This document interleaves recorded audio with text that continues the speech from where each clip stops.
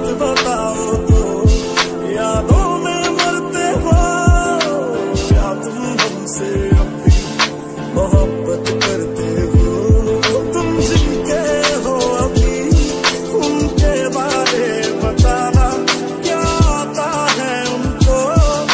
तुम्हें चुप